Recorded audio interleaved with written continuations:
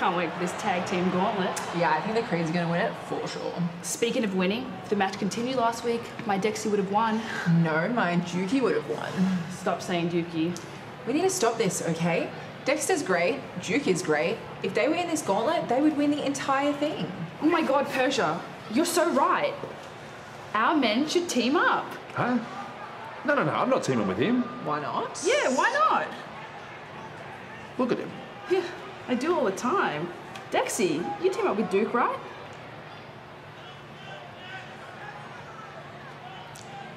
Ah, come on, I know he's a creep, but Hey, still- Indi. Okay, okay, I'm joking.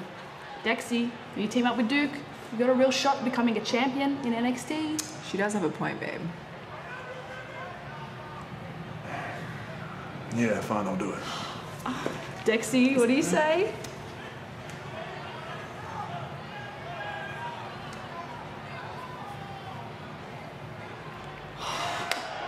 Tag team championships, here we come.